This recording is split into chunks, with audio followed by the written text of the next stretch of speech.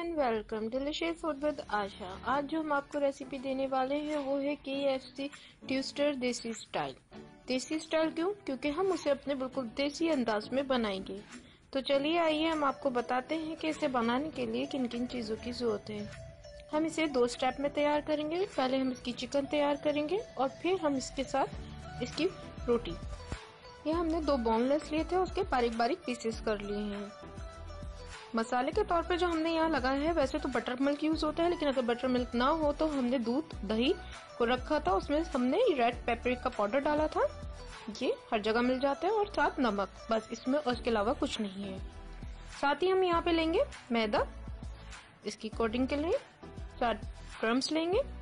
देसी स्टाइल है तो चिकन टिक्का मसाला डाल लें नमक, काली कुटी मिर्चें कॉर्नफ्लावर एक अंडा हम इसमें जो जो मसाले डालेंगे, वही हम इस गीले वाले बैटर में डालेंगे, जिसमें हमने पहले से बर्फ़ शामिल की है। ताकि इससे हमारी चिकन बहुत अच्छी क्रिस्पी बने और उसकी जो ऊपर कोटिंग करेंगे, वो भी ना उतरे। जैसे कि अभी हमने मैदे के दो चम्मच डाले हैं, अब हम कॉर्नफ्लावर के भी चम्मच डालेंगे, साथ ही अंडा भी शामिल कर देंगे।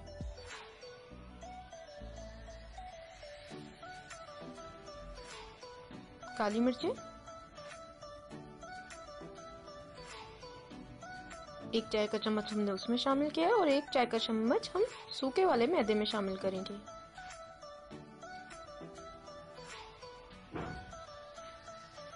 यह है पेप्रिका पाउडर।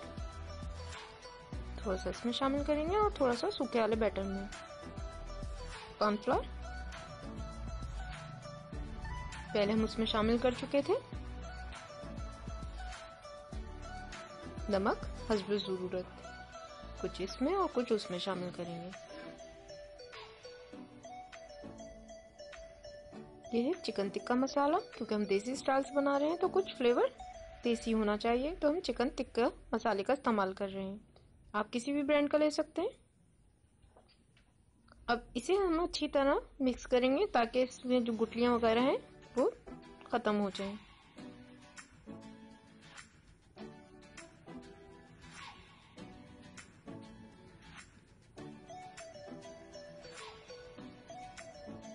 हम बैटर में से चिकन निकालेंगे पहले, सूखे वाले मैदे में डिप करेंगे। फिर जो हमने गीला वाला बैटर बनाया था उसमें अच्छी तरह डिप करेंगे। फिर सूखे वाले मैदे में लगाएँगे। हम इसे ज़ोर ज़ोर से दबा दबा के नहीं लगाएँगे, हमें बिल्कुल मोटी मोटी लेयर्स नहीं चाहिए। बिल्कुल हल्के हल्के हाथों से। इस तरह से उठा उठा के बस हल्के हल्के से। अब हम क्रम्स लगा देंगे। बहुत एहतियात से ऊपर ऊपर।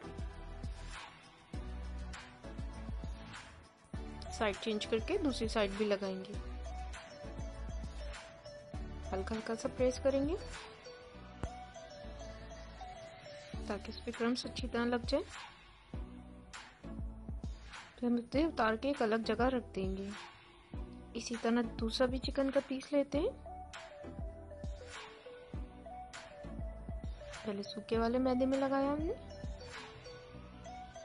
फिर गीले वाले बैटर में, फिर सूखे वाले बैटर में। सिर्फ़ हम ये हल्के हल्के सी लेयर लगा रहे हैं। हम इसे ज़्यादा प्रेस नहीं करते कि इस पे मोटी मोटी मैदे की कोडिंग ना हो। अगर हम ज़्यादा मैदा लगा देंगे तो ये मोटा मोटा सा हो जाएगा और कच्चा कच्चा सा रहेगा। इसी तरह हम अपने सारी चिकन तैयार कर लेते हैं। यह हमने अपनी चिकन तैयार कर ली थी इस पे कोडिंग करके। इसे हमने आधे घंटे के लिए डिफ्यूजर में रख दिया था। यहाँ अब हम तेल गरम करेंगे उसे फ्राई करना शुरू करेंगे। लेकिन इससे पहले हम आपको बताते हैं जो हमने इसका पूरी वाला आटा तैयार किया था। इसमें हमने मैदा लिया था। दो चम्मच तेल शामिल किए थे, नमक शामिल किया था और नीम गर्म पानी से अच्छा सॉफ्ट डो गून लिया था। फिनिश अब आपके सामने कर रही हूँ। ये वही आटा होता है जो कि हम आम घर में पूरी तैयार करते हैं। बिल्कुल वैसे ही।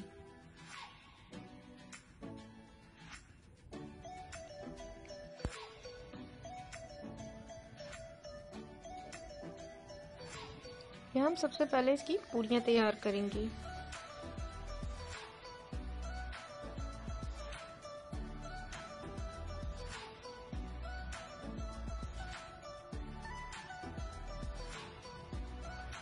इसे हाथ से बिल्कुल बारीक बारीक फैलाएँगे।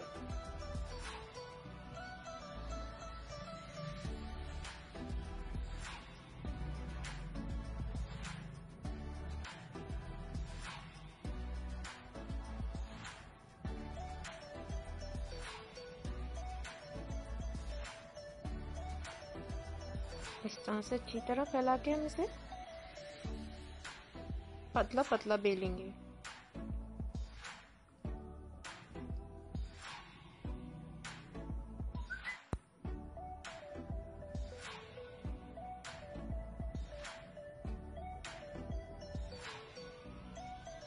इतना पतला कि हमारा बोर्ड भी इसमें दिखने लगा है।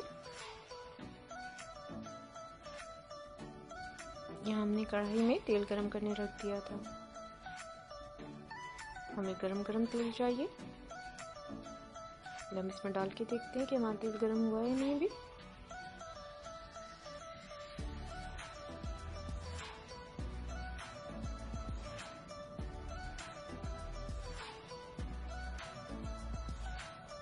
को हिलाएँगे। इसकी हमें नरम पूरी तैयार नहीं करनी, बल्कि थोड़ी सी क्रिस्पी और सख्त हो, क्योंकि हमें इसके रोल बनाने।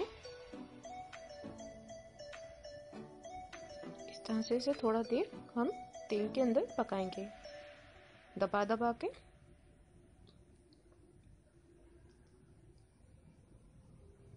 इस तरह हिलाने से भी हमारी पूरी क्रिस्पी हो जाएगी।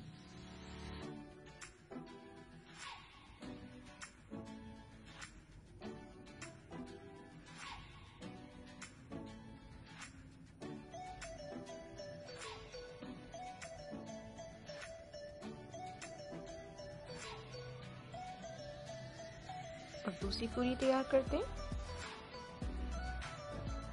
इसे भी हमने हाथ की मदद से फैला लिया है अच्छी तरह।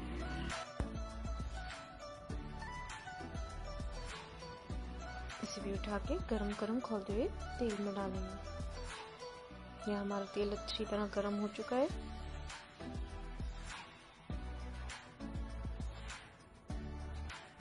इसे भी हिलाते रहेंगे। हमें इसे अच्छी गोल्डन ब्राउन फ्राई करनी है एक साइड हो चुकी है दूसरी साइड करते हैं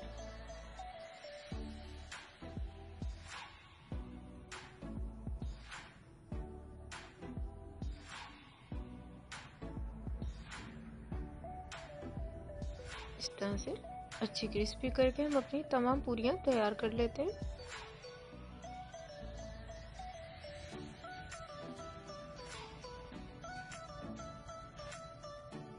इसे खुली जगह पे रखेगा, किसी खुले बर्तन में, ताकि ये अच्छी क्रिस्पी रहे। देखेंगे कितनी कड़क और क्रिस्पी अपने चिकन को फ्राई करेंगे।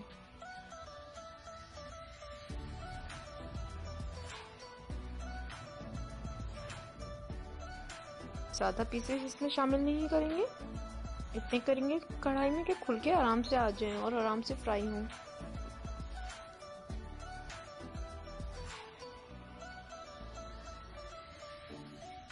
चिकन बहुत जल्दी गल जाती है।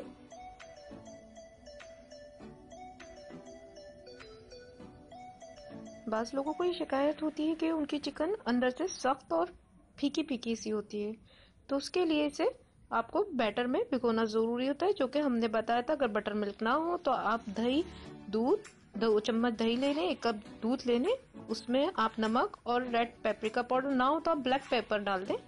और उसमें रख दें इसे। तकरीबन एक घंटे के लिए तो लाजमी रखें। इससे आपकी चिकन बहुत ही जूसी और नरम होगी सॉफ्ट होगी और बहुत अच्छा फ्लेवर आएगा। उसकी जो क्रिप्स हमने तैयार की थी तो वो तो आपको बताया था हमने कि हमने इसमें क्या क्या डाला है, उसका भी एक अच्छा टेस्ट आएगा। यहाँ इस तरह से गोल्डन ब्राउन हमने फ्राई किए हैं। तमाम चिकन हम फ्राई कर लेते हैं। अब हम इसके रोल तैयार करते हैं। किस तरह से बनेंगे? पहले हमने एक पूरी पराठा लिया है। उस पर हमने अपनी चिकन रखी है इसे। थोड़ा इस तरह से तोड़ लेंगे। तो इसके ऊपर हम ये आइस बग डालेंगे। इसका बहुत अच्छा फ्लेवर आता है। साथ ऊपर केचप। मेयोनीज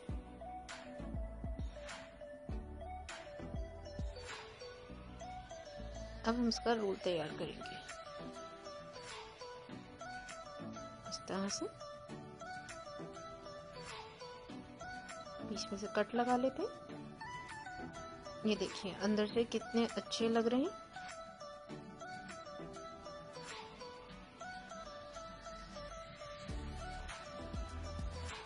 हम और रोल भी तैयार करते हैं। एक और आपके सामने दिखाते हैं किस तरह से। इसे उठा के हम प्लेटर में रखते हैं।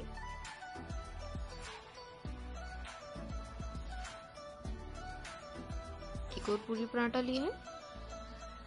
मुर्गी का पीस रखेंगे। इस पे कट लगाएँगे। कट लगाने से हम इसकी बाइट अच्छी तरह ले सकते हैं। आइसबर्ग को यूँ हाथ की मदद से तोड़ तोड़ के डालेंगे। इसे कभी भी छुरी से नहीं काटते। कैचअप मेयोनीज अगर आपको पसंद हो तो आप डाल सकते हैं, वरना आपकी मर्ज़ी है।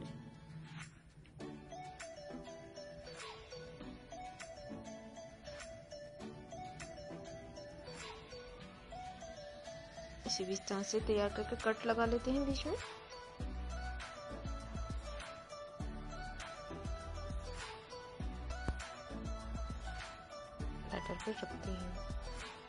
यहाँ हमारे देसी स्टाइल ट्विस्टर तैयार हैं। आपको भी हमारी रेसिपी पसंद आए तो अपने घर में ज़रूर ट्राई कीजिएगा और अपना एक्सपीरियंस हमसे कमेंट में शेयर करिएगा। आपको हमारी वीडियो पसंद आए तो इसे लाइक कीजिए और हमारे चैनल को सब्सक्राइब कीजिए।